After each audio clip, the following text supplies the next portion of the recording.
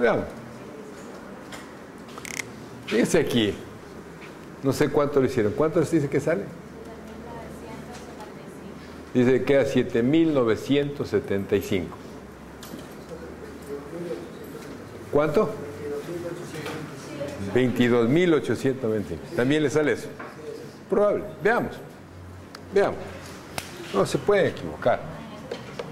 Se puede confundir.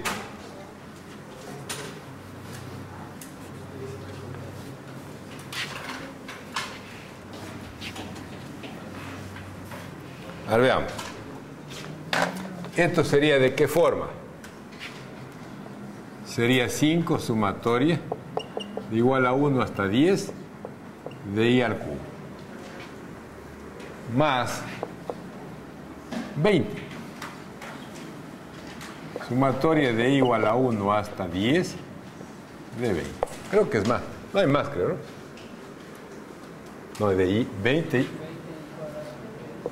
20i cuadrado queda. Ahí está la cosa. Entonces, ahora sí vemos. Para esto tenemos esto. Aquí n cuánto vale? n vale 10. Entonces, simplemente esto así igual a cuánto? A 5 por 10 por 11 sobre 2 al cuadrado. El siguiente, ¿cuál es? 20 por 6, 10 por 11 por 21. ¿Estamos? No hay más. Entonces, ¿qué queda aquí? A ver, este va con este. Queda 5, quedaría 5 por 55 al cuadrado. Tercera 3, 7. 2.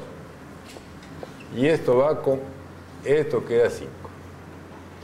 Esto me queda más 20 por 5 por 11 por 7. No sé cuánto quede ahí. ¿Cuánto queda ahí? ¿Perdón?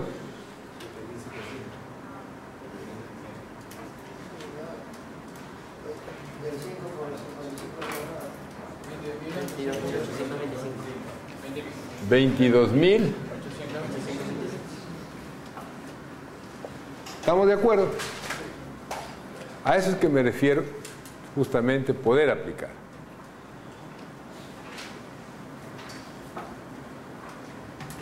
Y vean el último, por favor, para avanzar un poquito más. Veamos del último.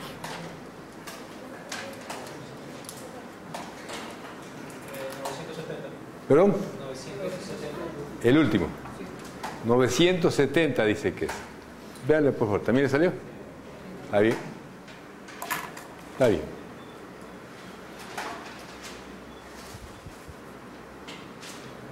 Dice que queda 970. ¿Todos tienen ya?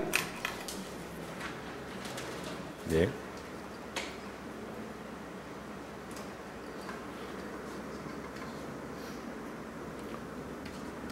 Pues simplemente, ¿qué está quedando?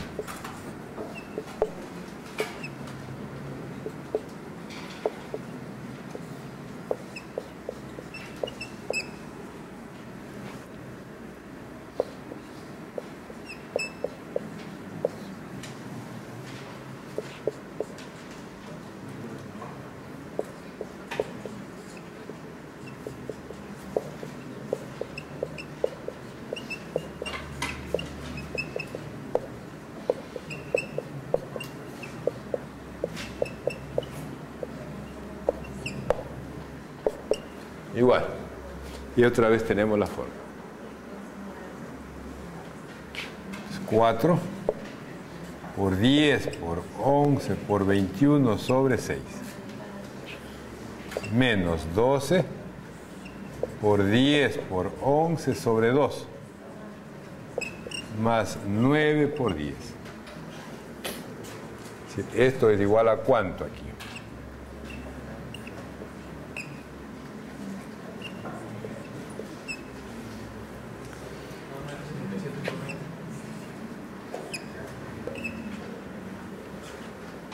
Aquí quedando 20 por 77 menos 60 por 11 más 90. Y esto dice que ¿cuánto es? 970. Vean por favor si tienen alguna pregunta, algo que no esté claro.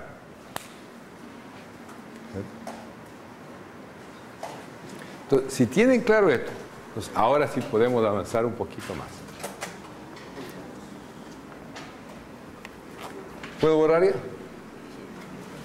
Sí, ¿no?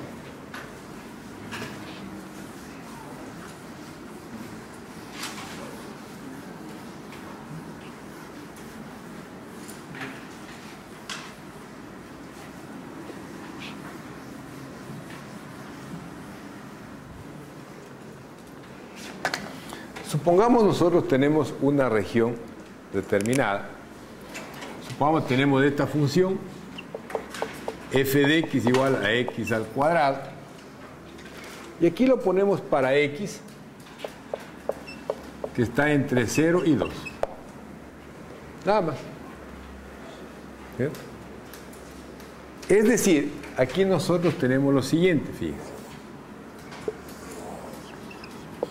Eje X, eje Y. Hagamos esto, pues, pongamos que aquí sea 1 y acá sea 2. Por conveniencia nada más para que nos alcance, para que se pueda ver. Aquí esto sea 1, 2, 3, 4. Entonces, si nos damos cuenta, aquí está este valor.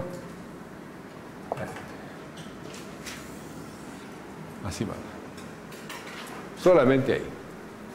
El objetivo va a ser el siguiente ahora. Calcular justamente esta área. ¿Cómo calculamos esa área? Y aquí viene justamente lo que les había dado hace un momento. ¿No es cierto? Aquí vamos a suponer lo siguiente. Primeramente, para que lo comprendan, para que lo comprendan mejor, no vamos a hacer en función de n, vamos a hacer simplemente para unas seis particiones. Hasta dos, a ver cuánto hagamos. Los tercios.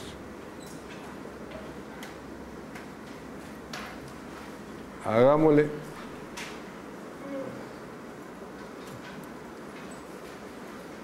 Hagamos con cinco particiones. Dos tercios, no importa. Hagamos seis pedacitos. Vamos a tomar de la siguiente manera.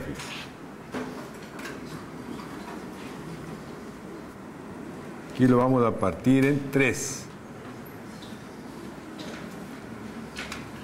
Aquí lo vamos a partir en tres. ¿Estamos? Vamos a hacer esas particiones. Entonces, vamos a tomar estas áreas, solamente ahí. Aquí en este caso, este sería para nosotros que x sub 0, que es igual a 0. Este va a ser nuestro x1, nuestro x2, nuestro x3, nuestro x4, x5 y este va a ser nuestro x6. Ya está. Tenemos seis pedazos, seis partes. Entonces vamos a suponer lo siguiente, que cada uno de estos pedacitos, o sea, de estas particiones que se llaman, tengan igual longitud. ¿No es cierto? ¿Cómo se hace para que tengan igual longitud? ¿Cómo hacemos?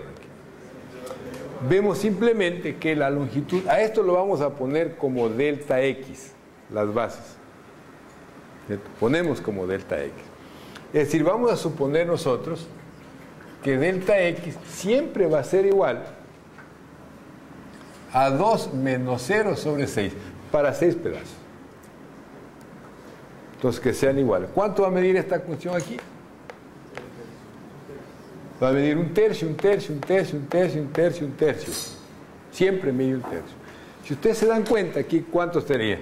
Un tercio más un tercio más un tercio. ¿Cuántas veces hay aquí? Seis tercios. Y seis tercios llega a dos. ¿De acuerdo? Llega a dos. Es decir, aquí vamos a establecer lo siguiente. Que aquí para nuestro caso delta x va a ser igual a un tercio. Ya está.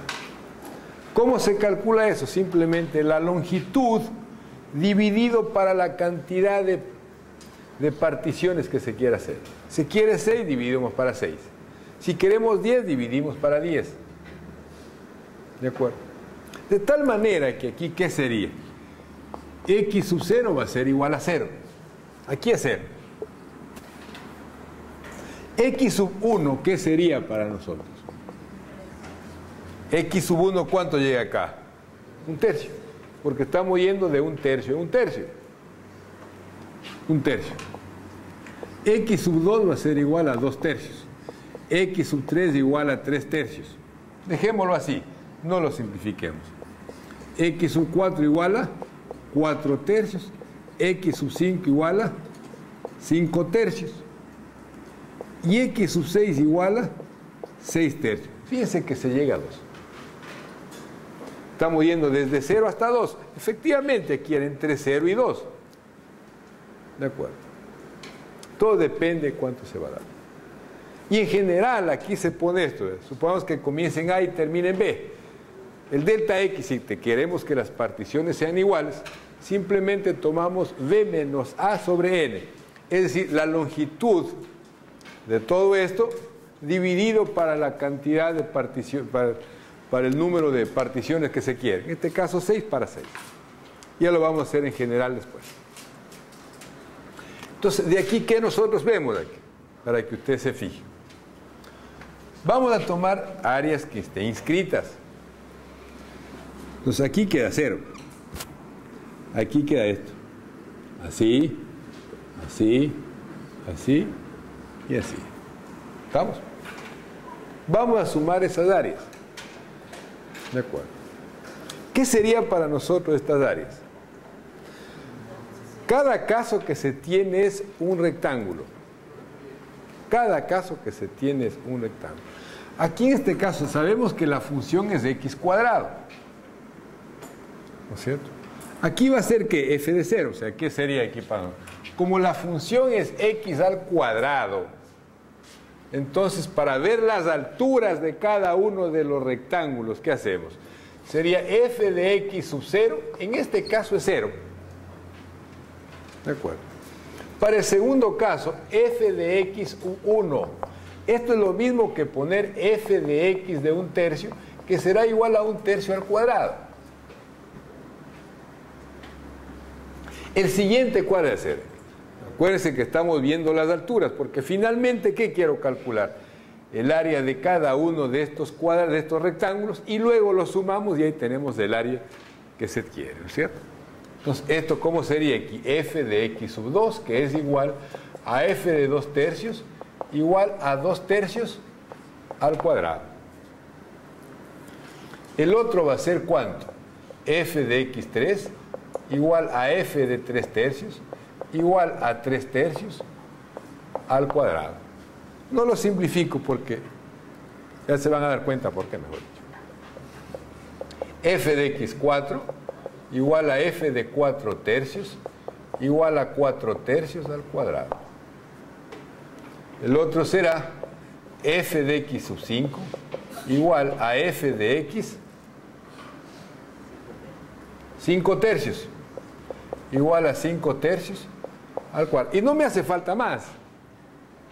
No me hace falta más, ¿por qué razón? Porque aquí llegamos solamente hasta cuál altura, hasta esta altura. ¿Estamos? No hace falta. Sumo este, más este, más este, más este, etc. ¿Estamos de acuerdo? Entonces, vamos a sumar las áreas de esos rectángulos. La suma. Entonces, ¿cómo sería aquí? La suma de esos rectángulos de 6, de aquí le ponemos de 6 pedacitos. Entonces, ¿qué tendríamos de aquí? La base, que sería f de x sub 0, por nuestro delta x. Luego vamos reemplazando.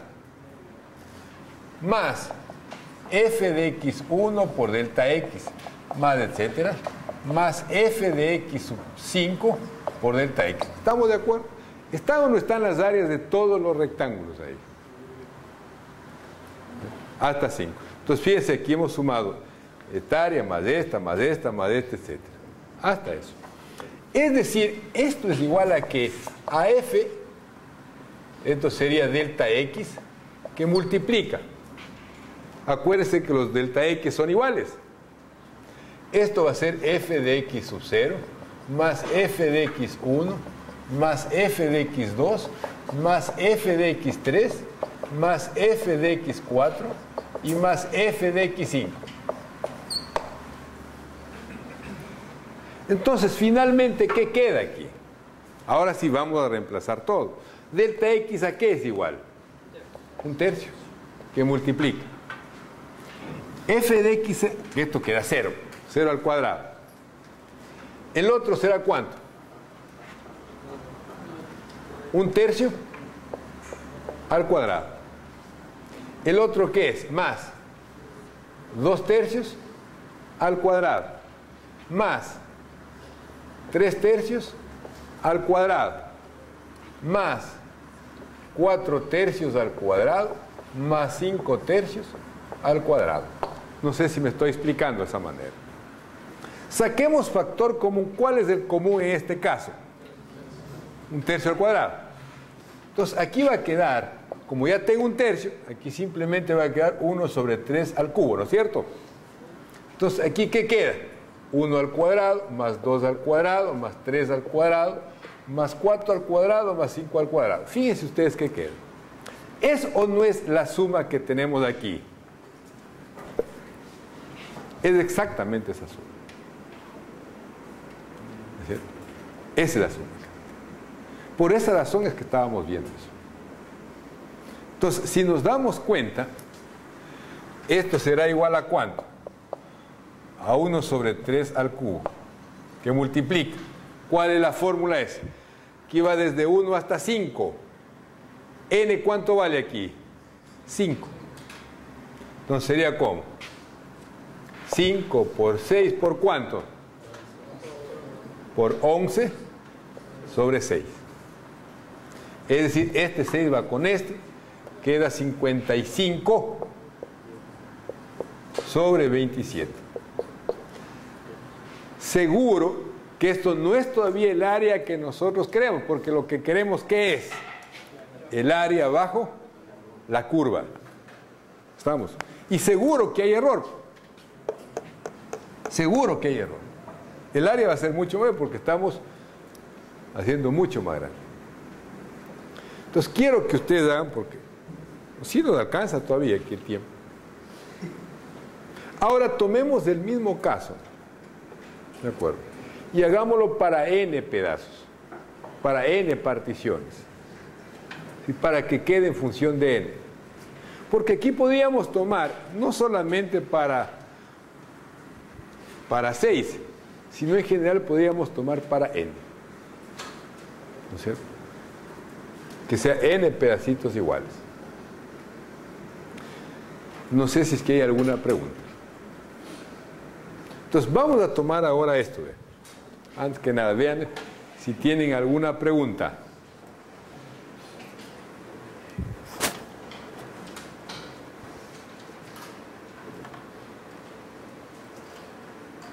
¿Está bien? Bueno, voy a borrar. El procedimiento es el mismo. Pero aquí lo quería hacer numérico para que ustedes se den cuenta.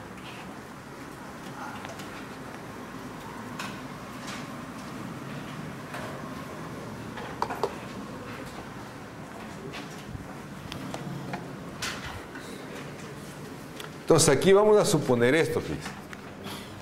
Que no sea hasta 6, sino que sea hasta x sub n. Esto sea x sub n. Para un n cualquiera. Entonces aquí vamos a suponer que sea así, ¿no? Más pedacitos, pero no hace falta aquí.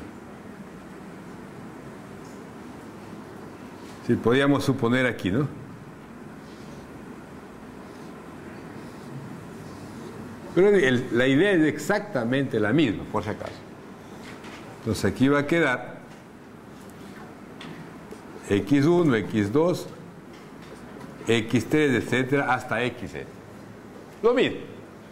Entonces ahora sería esto.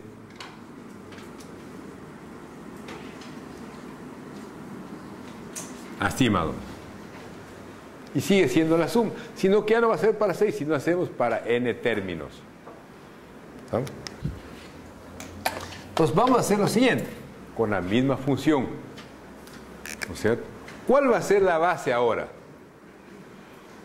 La base será nuestro delta x. Vamos a tomar nuevamente que las bases sean iguales. Al ser las bases iguales, ¿cómo sería? Siempre se va a tomar la longitud dividido para el número de particiones que se quiere. En este caso n dividido para n. ¿De acuerdo? Entonces simplemente esto va a ser cuánto? 2 sobre n. Esta longitud dividido para n. Siempre va a ser así. Es decir, en general, si ustedes tienen esto, aquí tiene A, acá tiene B. Y nosotros comenzamos a hacer estas particiones. ¿No es cierto? Pero las particiones tienen igual longitud. ¿cierto? Igual longitud. Entonces, esto va a ser nuestro x sub 0 igual a x1, x2, etcétera, hasta que se tiene xn. Entonces, cada pedacito de aquí es un delta x. Y el delta x en general va a ser, cuando son iguales, desde luego, siempre viene dado como b menos a sobre n. ¿De acuerdo? Siempre. Cuando son iguales. Cuando las longitudes son iguales. Si no son iguales la longitud, pues ya, no sirve ya. ¿De acuerdo? Porque ahí sí hay que darlo uno por uno, pues ya. Y es diferente. Entonces, por esa razón aquí ponemos A para nosotros vale 0, B para nosotros vale 2. Por esa razón ponemos 2 sobre N. ¿Estamos? Entonces, nuevamente, hacemos el mismo procedimiento. ¿Cómo va a quedar aquí? X sub 0 igual a 0. Hay una vuelta a quedar. El siguiente, ¿qué me queda? Si ese 0, porque comienza en 0. Supongan que hubiera comenzado en 1, entonces sería 1. Ahí depende de la función. Y depende del intervalo. X sub 1 va a ser igual a cuánto? A 2 sobre X sub 2, ¿qué sería para nosotros? Aquí ya sería. Esto es un delta X. A ver, para que quede más claro. Esto es igual a delta X igual a 2 sobre N. Para X sub 2, para llegar acá, ¿qué sería? Dos veces delta X. Sería dos veces delta X. Y pongámoslo ahora 2 por 2 sobre n. Quiero generar una fórmula de alguna manera, porque si no se podía poner 4 sobre n. Esto es como que pusiéramos 1 por 2 sobre n. X sub 3, ¿qué sería aquí? 3 por delta X. Y esto va a ser igual a 3 por 2 veces sobre n. ¿Estamos? El último, pongamos aquí x sub 4 igual a 4 por delta x igual a 4 por 2 sobre n. En general, en general, ¿qué va a quedar aquí para nosotros? llegamos hasta x sub n. No, no llegamos hasta sub n. Llegamos hasta acá nomás. ¿Cuál es este caso aquí? Este es n menos 1. ¿Estamos? Es n menos 1. Entonces, esto sería x sub n menos 1 igual a cuánto? n menos 1 por delta x. Es decir, esto es igual a n menos 1 por 2 sobre n. ¿Estamos? Ahí está la cosa. De aquí entonces, ¿qué tenemos? f de x sub 0. ¿Por qué hago esto? Porque vamos a necesitar las alturas de cada rectángulo. ¿Eh? Esto queda cero, pues aquí no hay problema. Acuérdense que la función siempre es, aquí en este caso es x al cuadrado. ¿Qué queda de aquí? f de x1 va a ser igual a cuánto? A 1 por 2 sobre n al cuadrado, que la función es x al cuadrado. F de x2 sería 2 por 2 sobre n al cuadrado. Y aquí se podría poner esto también de la siguiente manera, fíjense ustedes. Ya, vamos a ver. f de x sub n sub 3 igual a 3 por 2 sobre n al cuadrado. Y en general, pongámoslo aquí, pongámoslo un ratico antes que nada, para que no confundamos, pongamos que sea x sub i. ¿A qué va a ser igual x sub i? i por delta x igual a i por 2 sobre n. No sé si me estoy explicando. Para i sea cualquiera, x sub 2, 3, 10, 20, cualquiera. Y finalmente llegamos al último, que será xn menos 1, que es n menos 1 por delta x, que es igual a n menos 1 por 2 sobre n. ¿Estamos? Sino que este para ubicar en cualquier posición. Entonces, ¿aquí qué queda? Que este va a quedar como f de xy. Que sería para nosotros, ¿qué para nosotros? y por 2 sobre n al cuadrado. Y eso es lo que nos va a quedar. Entonces, la suma de n términos que nosotros tenemos, ¿cómo así? Siempre es base por altura. Siempre es base por altura. La base, como es la misma, yo voy a poner que sea delta x, que es la base por cada una de las alturas. Y esto simplemente es igual a que a f de 0 más f de x1 más f de x2 más etcétera más f de x n menos 1. No sé si me estoy explicando.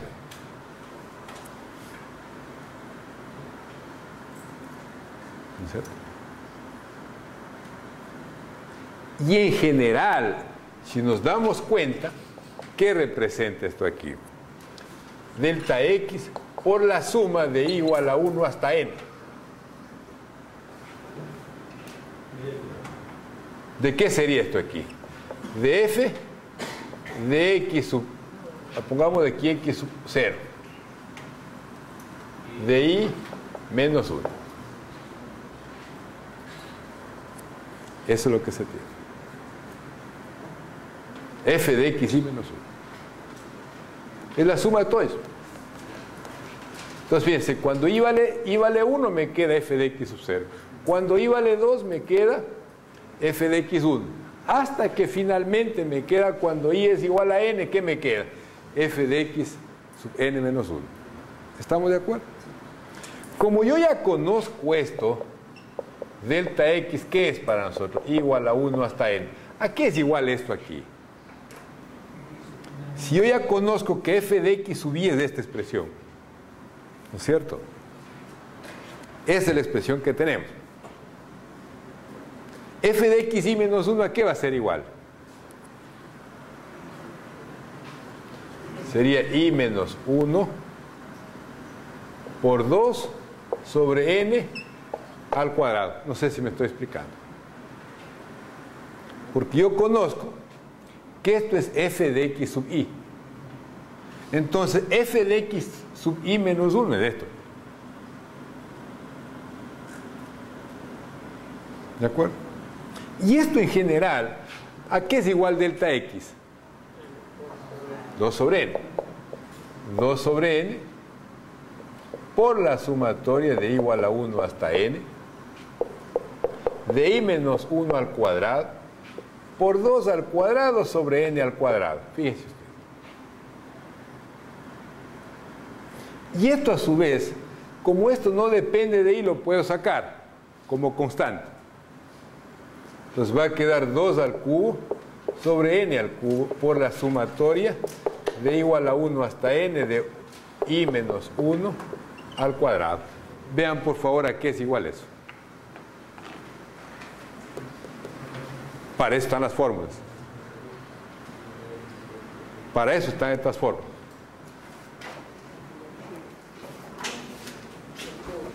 Para eso están estas fórmulas. Véanlo por favor. Y va a quedar en función de n. Y ahí simplemente lo que hacemos que es, reemplazamos, queremos que n sea 10, reemplazamos n igual. Queremos que n sea 100, reemplazamos. Y ahí queda como una fórmula para establecer eso. Véanlo por favor.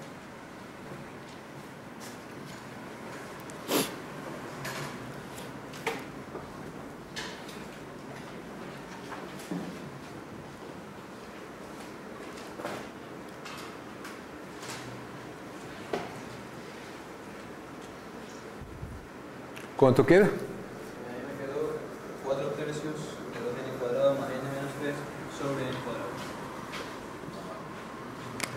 Entonces aquí sería 8 sobre n al cubo, ¿no? Por. Aquí me está diciendo que es 4 tercios. No, no, este, digo ya al final todo, todo, todo. Ah, ya todo. Me va a quedar un 6 abajo y se puede simplificar con ese 8. Ya, ya, ya, ya. Yo Dice que queda. Yo, no, yo no lo he hecho, pues. Dice que queda aquí, pongámosle, por si acaso, un signo de interrogación. 4 por para 4 tercios de numerador 2n cuadrado más n menos 3 2n cuadrado más n menos 3 sobre, n cuadrado. ¿estamos? ¿Está bien? Y creo que está bien. Creo que está bien. Esto va a ser igual a qué? A 4 sobre 3 que multiplica. Separemos aquí 2 más 1 sobre n menos 3 sobre n cuadrado. ¿Estamos de acuerdo? Si es que todo está bien es esto. Si es que todo está bien es eso. Hay que confirmar, por, por favor, eso. Hay que confirmar aquí. Entonces, fíjense ustedes, si n es igual, ¿cuánto hicimos hace un momento? ¿n cuánto valía? 6. Veamos si es que n vale 6, tiene que salir lo mismo, pues no. Tiene que salir lo mismo. Si n vale 6, ¿qué me va a quedar? 4 tercios por 2. Eh.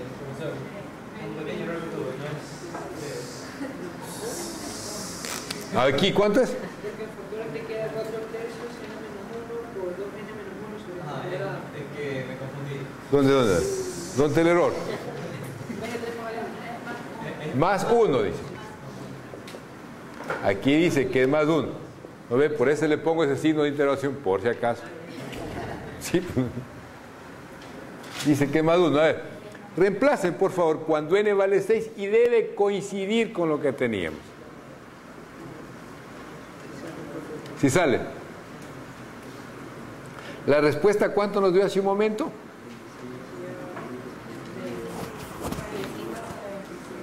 ¿55 sobre 27, dice que. Debería ser lo mismo. Sale lo mismo. Y ahora puede darse lo siguiente. Dice que sale lo mismo. Está bien. Pero aquí va más allá. Podría ponerse cuando n vale 100, vale 1000, vale 10.000, lo que sea. Pero supongamos ahora, ¿qué es lo que sucede a medida que las bases tienden hacia cero? ¿Qué sucede? ¿Qué estamos calculando ahí? ¿Qué área estamos calculando? El área de toda, de toda la región que está bajo la curva. ¿Estamos de acuerdo? ¿Qué podríamos hacer? Simplemente tomamos el límite. pues. Como ya tenemos todo eso, entonces simplemente podríamos tomar el límite ¿No es cierto? Tomamos el límite cuando n tiende al infinito, para n sumamente grande, de ese n, que esto ha sido igual al límite cuando n tiende al infinito. ¿De qué quedaba de la suma de ese n? Esto es 4 tercios que multiplica cuánto? A 2 más 1 sobre n más 1 sobre n cuadrado. Si nos damos cuenta, ¿qué sucede cuando n tiende infinito? Esto tiende a 0 y esto tiende a 0. ¿El resultado cuál ha sido? 8 tercios. Esta ya es del área exacta. Ese es el área exacta.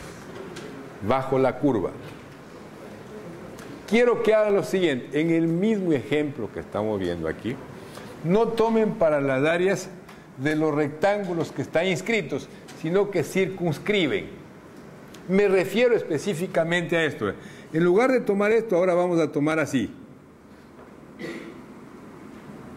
Tomamos este, tomamos este rectángulo, tomamos este rectángulo, tomamos este y así sucesivamente. Al final, quiero que se den cuenta que toman al infinito, la respuesta debe ser la misma. Porque ahora, ¿qué es lo que sucede? Supuestamente el área va a ser mayor sumando. Pero a medida que la cantidad de pasos aumenta, ¿qué pasa con esa aquí? Va disminuyendo y debe tender a la misma área. ¿Estamos? Ahí quedamos. La próxima clase avanzamos.